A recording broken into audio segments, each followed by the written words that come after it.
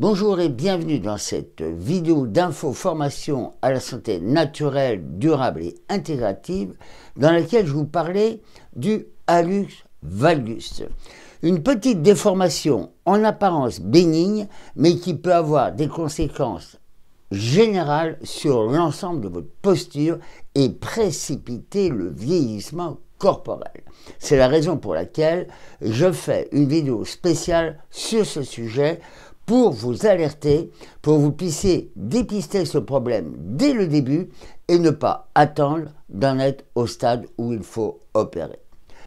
Hallux valgus ou oignon est une déformation du gros orteil qui touche 2 à 4% de la population. Il se signale par l'apparition progressive et indolore d'une saillie osseuse caractéristique accompagnant un affaissement de l'arche antérieure de l'avant-pied et d'une déformation encore progressive des autres orteils en forme de griffe, également dit en marteau.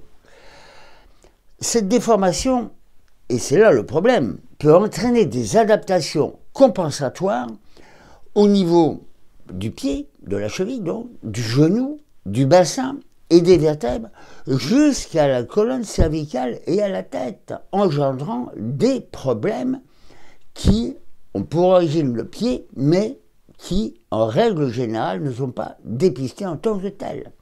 Non seulement cette déformation est inesthétique, mais elle a l'origine de problèmes dégénératifs de type arthrose et pincement articulaire en chaîne.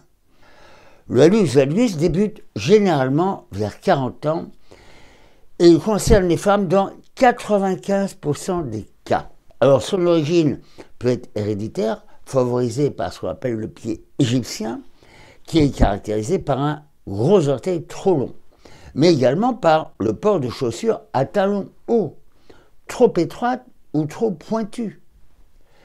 Il y a aussi les pieds plats, le pied plat valgus, les suites d'entorse, entorse de la cheville, entorse du genou, qui euh, perturbe les appuis au niveau du genou et au niveau du pied, et la prise de poids. Il ne faut pas attendre d'avoir mal au pied pour réagir. Dès que vous voyez une petite déformation, il faut consulter. Le hallux valgus évolue par poussée plus ou moins douloureuse. Le problème, c'est que pendant longtemps, il n'est pas douloureux, donc on ne s'en occupe pas.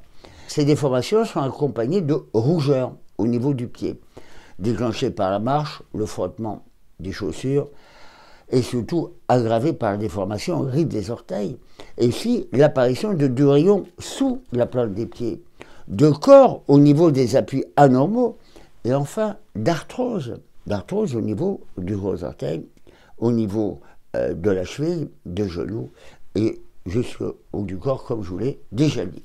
Alors comment traiter la valgus Eh bien, d'abord le plus tôt possible et de façon cohérente et assidue.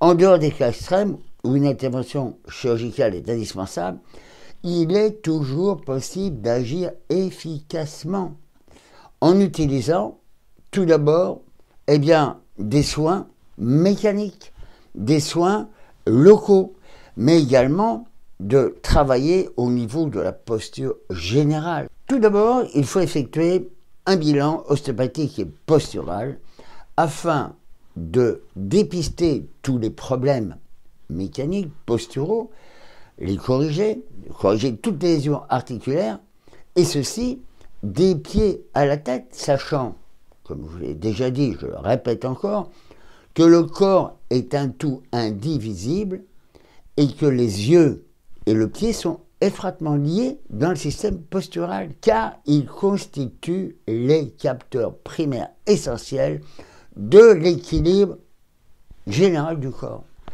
Deuxièmement, eh bien, il faut supprimer les chaussures étroites et à talons hauts.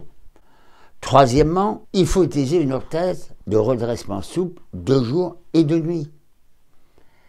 Quatrièmement, il faut vous faire fabriquer par un podologue posturologue des semelles de correction afin de reformer l'arche antérieure du pied, soulager la pression sur l'oignon grâce à une lentille rétrométatarsienne qui reforme l'arche afin de faire travailler plus correctement les muscles plantaires et surtout de redresser les orteils en marteau. Il faut en particulier faire des exercices posturaux d'équilibre sur un pied en portant le poids du corps sur l'arche externe du pied.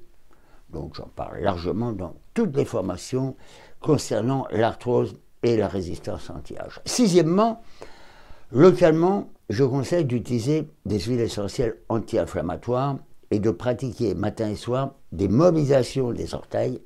Vous voyez, donc on tire sur les orteils et on les fait fonctionner comme ceci. Ah, mais il faut vraiment tirer pour décompresser les articulations et faire des exercices qui vous seront conseillés par votre ostéopathe ou votre kinésithérapeute. Je conseille aussi la pause nocturne gaiement polarisée. En cas d'échec de tous ces traitements et l'aggravation, eh bien une intervention chirurgicale peut être Mais dans tous les cas, les soins de prévention active que je viens de vous indiquer constitueront le traitement le plus efficient, c'est-à-dire le plus efficace et le moins coûteux. Si vous avez apprécié cette vidéo, ben, n'hésitez pas à me le faire savoir.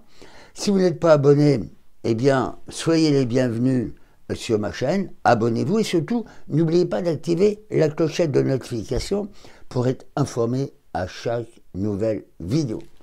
Je vous dis à bientôt pour une autre vidéo santé naturelle, intégrative et durable. Prenez soin de vous.